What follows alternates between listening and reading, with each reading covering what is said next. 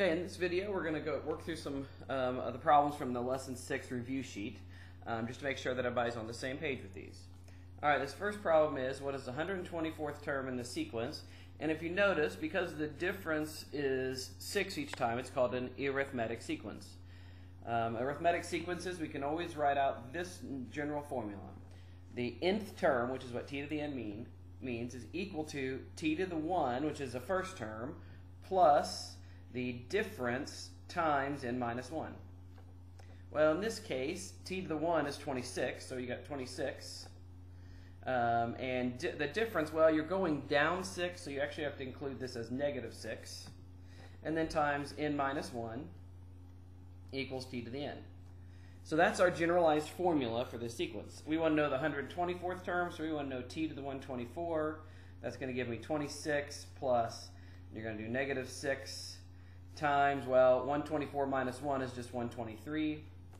When you multiply that together, you get 26 plus a negative 738. So the answer is negative 712. So the 123rd term, 24th term of this sequence is negative 712.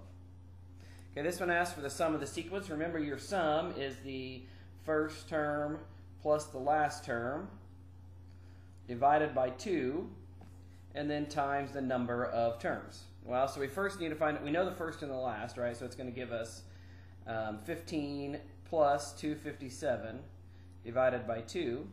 But we need to know what the number of terms is. Well, the, there's a couple ways to do it, but the easiest is the first minus the last divided by the difference plus 1. Well, that gives you 242. 242 divided by 11 is just 22, plus 1 is 23. So there are 23 terms. So that's going to give you 15 plus 257 is 272. Um, divided by 2 is 136. So you're doing 136 times 23. And 136 times 23 just equals, as you go through and multiply it out, um, 3,128. So the sum of the series there is 3,128. All right, the next is to find the sum of the um, uh, four, first 14 terms in this sequence. And so we need to remember what our geometric formula is. Our geometric formula says the sum of a certain number of terms is always going to be equal to the t to the first term times 1 minus the ratio to the n all over 1 minus the ratio. So in this case, t to the n, um, the or t to the 1 is going to be 16. Your ratio, now your ratio is not always easy to figure out, right? So we got 16 here.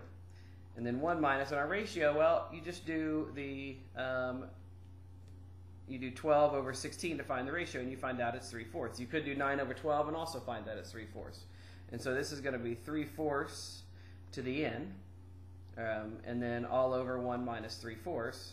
And our n is 14, so our problem is just going to be 16 times 1 minus 3 fourths to the 14th, all over, well, 1 minus 3 fourths is just um, 1 fourth. And so um, you can go through and calculate that um, out, um, and go through and multiply it out, and you get the sum of the first 14 terms of the sequence. Okay, the next one is the sum, and so if you equal this, that will that will give you your sum. Uh, the next one is for an infinite series. Um, in an infinite series, our sum is always going to be uh, s is always just the first term over one minus the ratio. A very very simple formula and one you just need to remember. And so the sum is going to equal well, 54 is your first term. The ratio is one third because 18 over 54 equals one third. 6 over 18 equals one third. So that gives you 54 over 2 thirds, um, which can be simplified by multiplying by the reciprocal of 3 halves, which is going to give you 81. So the sum of this infinite sequence, as it went on forever, is going to be 81. Um, the uh, next one, three problems are just factoring problems. Um, this first one uses the difference of um, two cubes. You should know this formula. a cubed minus b cubed is just equal to a minus b times a squared plus ab plus b squared.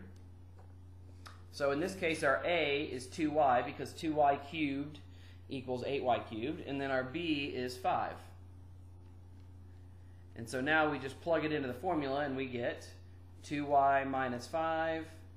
2y squared is just 4y squared minus the product of the two, which is 10y, and it's actually plus, and then plus 25. There you are done factoring. On the next one, this one, you're looking at um, the difference of two squares, and so it's just going to be um, uh, because there are whenever you got two terms and no, there are no cubes, and your, your only other option is difference of two squares, and so in this case it's going to be 4x squared minus 9 times 4x squared plus 9. However, you may notice that this is also the difference of two squares, and so you can write that as 2x minus 3 times 2x plus 3. Difference of two squares is something that you should know, and if you don't know, then you need to go back to that lesson and learn about it. All right, this last one's the hardest. Um, and uh, first off, if you went through and tried to do FOIL on this, you would be foiled. You would be able to figure it out. So you need to find out something that I can add to this. Whenever you do these problems, the only option is something that you can add to this to make this a perfect square.